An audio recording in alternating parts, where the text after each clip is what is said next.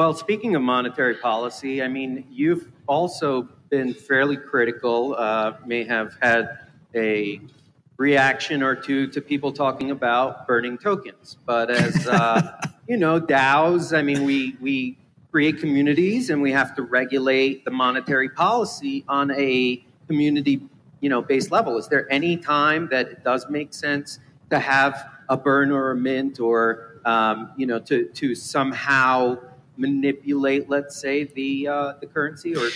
Yeah, if, if you have algorithms that require that, like an algorithmic stablecoin, or you're doing a token upgrade, you know, so proof of burn to destroy a token, to redeem a token on another system, uh, that makes a lot of sense. Where it becomes problematic is when you have a cryptocurrency with a deflationary monetary policy like Bitcoin or Cardano, and there's a fixed monetary policy to come in and say, well, destroy tokens. Well, why are they asking to do that? They're asking to do that to manipulate the price. And the tokens are already all distributed. So you literally have to steal tokens from somebody to do that.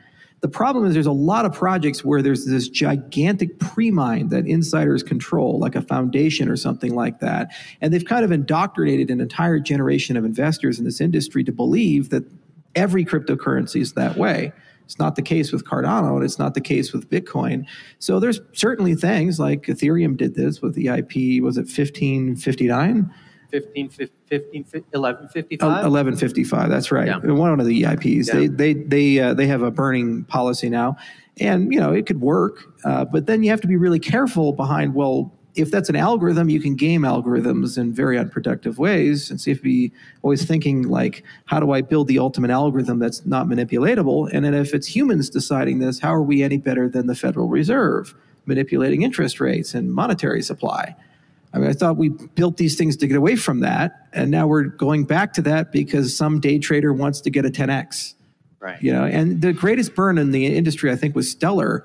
Didn't they destroy like a meaningful percentage of the entire supply? And it did nothing Yeah. for them in terms of price appreciation. So in practice, it doesn't actually work. But we wrote a paper on it. We we read a lot of papers.